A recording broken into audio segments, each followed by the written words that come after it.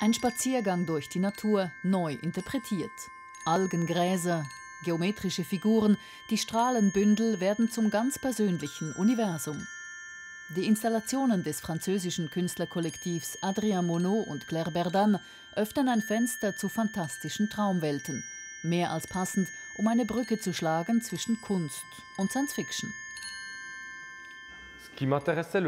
Diese digitalen Kunstwerke laden die Besucher ein, in eine andere, computergenerierte Welt einzutreten, mit ihr zu tanzen. Gleich wie Science Fiction uns fremde Welten eröffnet und uns dazu einlädt, mit dem Imaginären zu spielen. Die vom Künstlerduo erfundene Software eMotion kreiert digitale Organismen, sozusagen eine neue Spezies, die mit realen Objekten interagiert oder die den ebenso digitalen Naturgewalten ausgeliefert sind. Inmitten der wirbelnden Lichtwellen ist der Besucher Akteur und Zuschauer zugleich.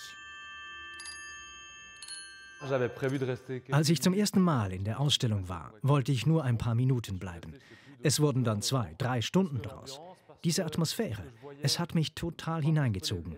Man wird nicht nur interaktiv gefordert, man steht da etwas anderem gegenüber auch einer mathematischen Komponente, der es gelingt sogar, das eigene Körperbildnis zu deformieren. Die Sterne vom Himmel holen, eintauchen in abstrakte Landschaften. Nichts ist konkret in dieser Ausstellung, außer den Assoziationen der Besucher.